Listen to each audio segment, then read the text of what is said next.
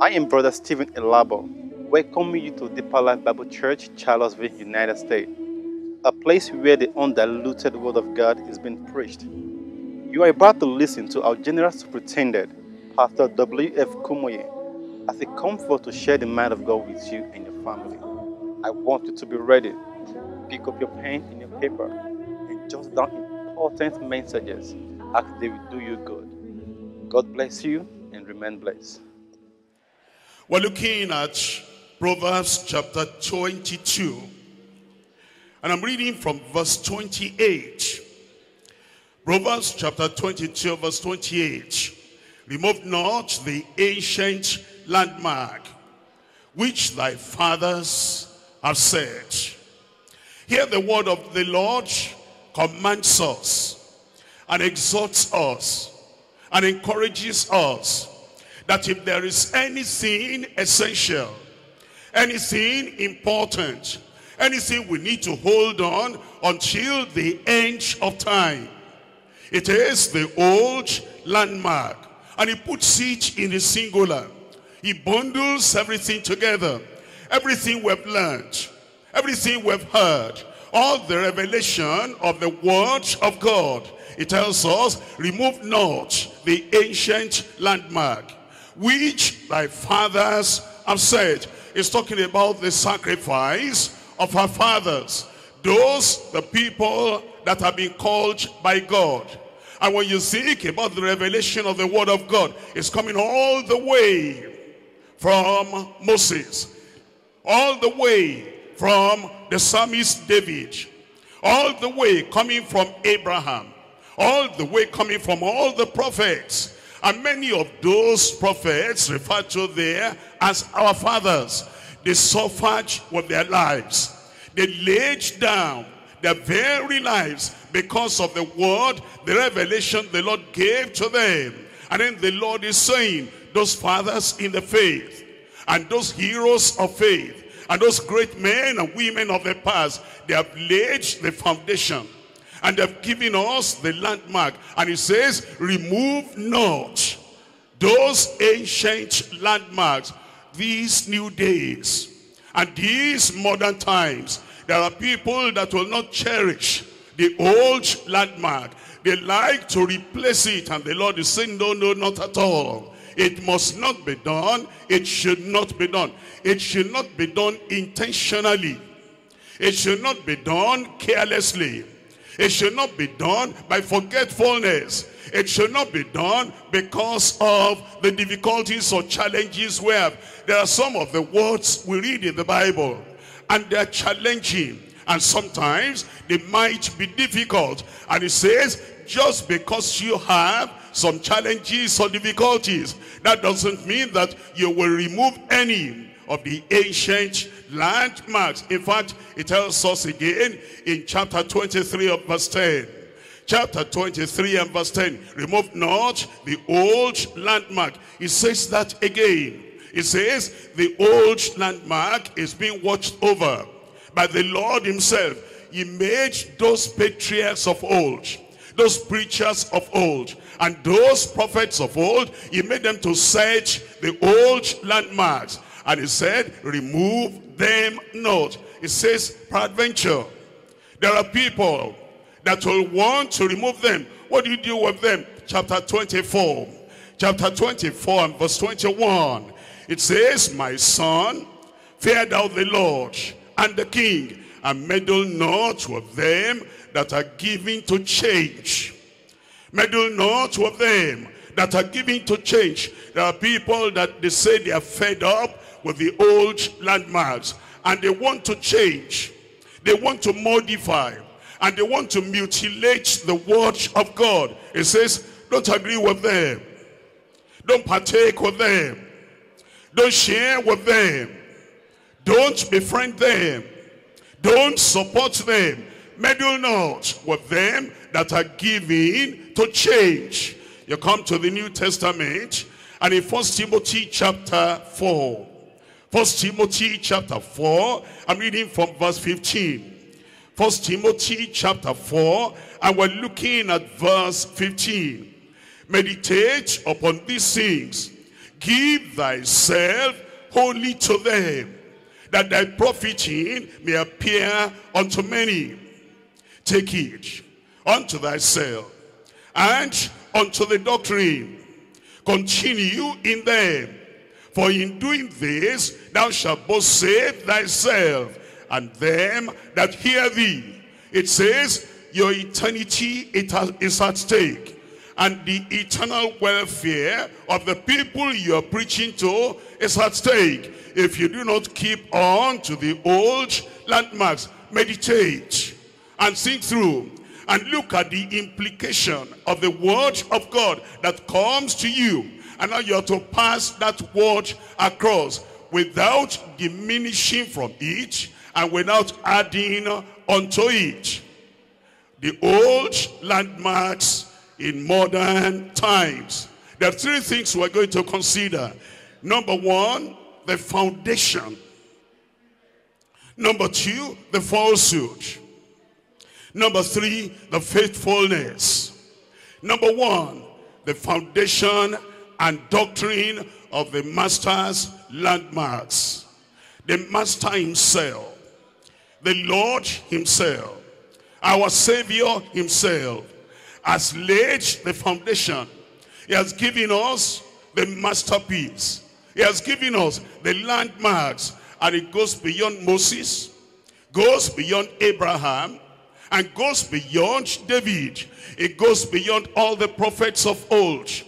Because he is the word personified. In the beginning was the word. And the word was with God. And the word was God. And he became flesh and dwelt among us. And we beheld his glory. The glory as of the only begotten of the Father. Is full of grace and full of truth. And he said, if you continue in my word, not the word of Moses, if you continue in my word, not that of Abraham, of David, if you continue in my word, then are you my disciples? Indeed, he laid the foundation, the foundation and doctrines of the master's landmarks. Point number two, the falsehood and danger of modern day liars false prophets are liars. False teachers are liars. The people that are to the word of God are liars. Those who subtract from the word of God are liars. Those who change the old landmarks and they want to replace it by the tradition of man, by the teaching of man, by the doctrines of denominations. Those are liars to the Lord. The falsehood and the danger of modern day liars. Number three, the faithfulness of disciples with ministerial loyalty. The faithfulness of disciples with ministerial loyalty. Come to number one, the foundation and doctrine of the master's landmarks. In First Corinthians chapter 3. First Corinthians chapter 3. I'm reading from verse 10. First Corinthians chapter 3, we're looking at verse 10. According to the grace of God, which is given unto me as a wise master builder, I have laid the foundation, and another builders thereupon, thereon. But let every man take heed how he builders thereupon. Paul the apostle said, the foundation matters a lot. He said, according to the wise master builder, I have laid the foundation. If you're not building on that foundation, you are not wise. If you don't have that same foundation, you are not wise. If you build on another column, on another landmark, on another piece of land, except the one Christ himself has laid down, you are not wise. Look at verse 11. For all the foundation can no man lay than that is laid, which is Jesus Christ. The Lord himself laid the foundation. And the Lord himself is the foundation. Jesus is our Savior. That's a foundation. Jesus is our sanctifier. That's a foundation. Jesus is our healer. That's a foundation. Jesus is our power. That's the foundation. Jesus is the coming king. That's a foundation. Jesus, the sanctifier, the baptizer in the Holy Ghost. That's the foundation. Everything we believe, everything we should teach, everything we stake our lives upon is the foundation of Christ. It tells us in Luke chapter 6. Luke chapter 6, reading from verse 47. Luke chapter 6, and we're reading from verse 47. Here the Lord himself tells us, he laid the foundation. He gave the message. He declared the truth. And he tells us, truth sufficient. Sufficient for salvation. And sufficient for sanctification. And sufficient for sustenance. And sufficient to take us unto heaven. Luke chapter 6. And I'm reading here from verse 47. Whosoever cometh to me and heareth my sayings and doeth them, I will show you to whom he is like. It's like a man which built an house and dig deep and laid the foundation on a rock. Laid the foundation on a rock. Have you noticed the foundation of Christ's message? Have you noticed what he said? Have you noticed what he proclaimed? Have you, have you noticed what he gave us? He gave us the totality of the word we need for us to get to heaven. And for us to make it on that final day, we'll make it in Jesus' name. I said you will make it in Jesus' name. He has given us that word. He has given us that truth. As we look at the word of Jesus, because he says over here, he that heareth my sayings. What are his sayings? He says, repent and believe ye the gospel. He preached repentance. That's foundational. He said, except you repent, ye shall all likewise perish. He said, it's not just religion. It's not just that I'm coming to church. I believe, I believe, I believe. What do you believe? He said, except you repent, ye shall all likewise perish. He spoke about faith. He said, except you believe that I am he, the only way to salvation, the way, the truth, and the life. Ye shall in no wise get into the kingdom of God. He is the way. Is the truth. It's a life. It's the way that leads to the Father. Do you remember he spoke about restitution? When you bring your gift to the altar and you remember that somebody has aught against you. You don't uh, say, well, that doesn't matter. That's his feeling. That's what he feels about it. I will still offer my gift anyhow. He taught restitution. He taught restoration. He said, you leave your gift there at the altar and you go back to him and you apologize and you make right and reconcile with the offended brother and then you come back to offer your gift. He taught repentance. He taught faith in Christ. He taught restitution.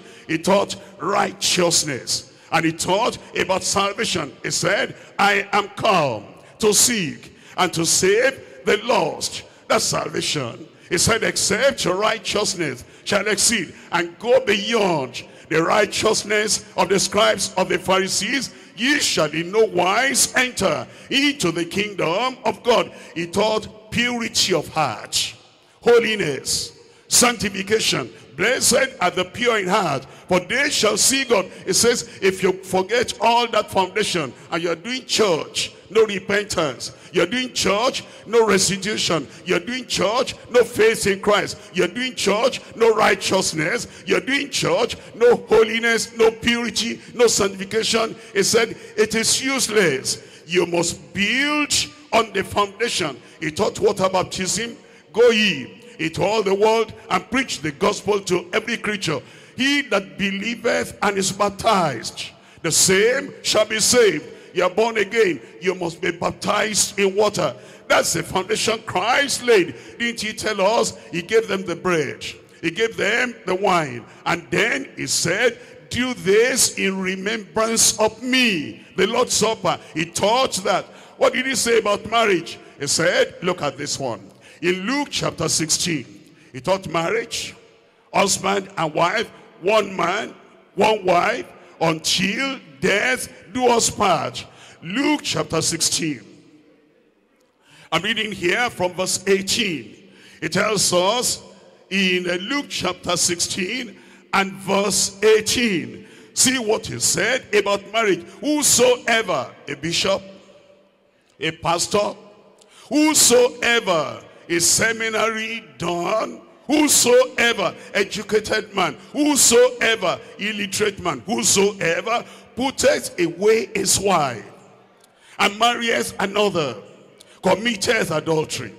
And whosoever marries her that is put away from her husband committed adultery. You see, that's what he taught. And he said that is the foundation. And Paul the apostle coming on said, as a wise master builder, I have laid the foundation and let every man, every preacher, every prophet, every evangelist, every minister, every worker, let everyone take heed how he buildeth thereupon. It will surprise you and it will jolt you to understand. Immediately Jesus spoke about that marriage. And he spoke about no divorce. And he spoke about stay with your wife until you die. He spoke about hell. Look at verse 19. And there was a certain rich man, which was clothed in purple and fine linen. And, and then he said he fared sumptuously every day and the other was a certain beggar named Lazarus, which was laid at his gate full of sores, desiring to be fed with the crumbs which fell from the master's, from the rich man's table. Moreover, the dogs came and licked his sores, and it came to pass that the beggar died, and he was taken by angels to Abraham's bosom. And the rich man died also and was and he was buried. And in hell he lifted up his eyes, being in torment, and seeth Abraham afar off and Lazarus in his bosom. He has spoken about marriage. And you know the problem in the world is like many people in the world, they don't want to think about the correct way in marriage and the right way in marriage and the word of the Lord concerning marriage. But immediately Jesus spoke about adultery. And he spoke about that unclean life of a man leaving the wife marrying another. And of a woman leaving her husband and marrying another. He spoke about hell. Not only that, he spoke about evangelism. And he gave that great commission to the whole church and all the members. And he said, go ye into all the world and preach the gospel to every creature. And do you know that he spoke about backsliding? He said in Luke, in um, John chapter 15. I'm reading here from verse 6.